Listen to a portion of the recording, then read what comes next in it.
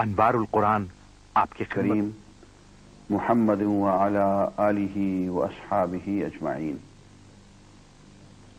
अजीज़ा गरामी असलकुम आज हम कुरान मजीद के अट्ठाईसवें पारे कदसा में अल्लाह का खुलासा बयान करेंगे। ये सूरा मुजादला से शुरू होता है। इसमें इरशाद है।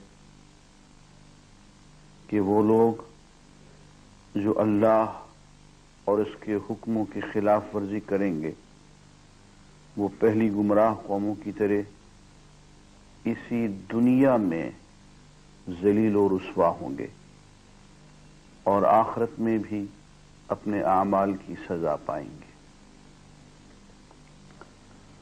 और फिर इसमें फरमाया कि तुम जहाँ कहीं भी हो, अल्लाह ताला तुम्हारे साथ होते हैं।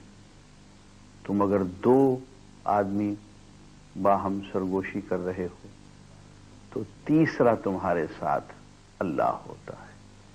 तुम तीन होते हो तो वो चौथा होता है। तुम चार गुफ्तगु कर रहे होते हो तो पांचवा वो खुद होता है।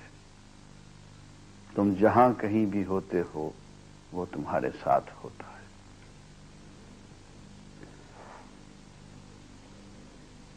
और फरमाया कि ये बात तय है कि अल्लाह और अल्लाह के रसूल वसल्लम के मुखालिफिन इसी दुनिया में शिकस्त खाएँगे, जलील होकर रहेंगे।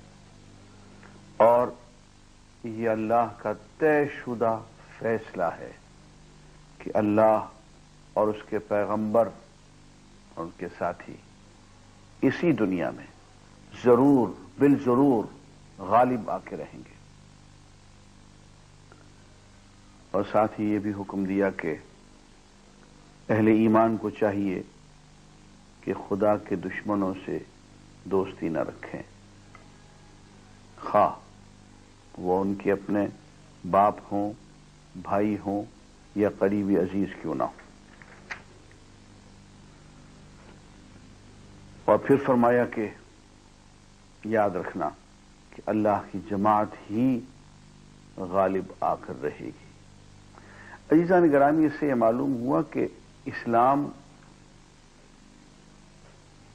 ऐसा दीन है जो सिर्फ़ आखरत में नहीं, इस दुनिया में हमें हाकिम बनाने के लिए आया है, गालिब होकर रहने के लिए आया है, इस दुनिया को हसीन बनाने के लिए इस दुनिया में हमें गलबा देने के लिए आया है।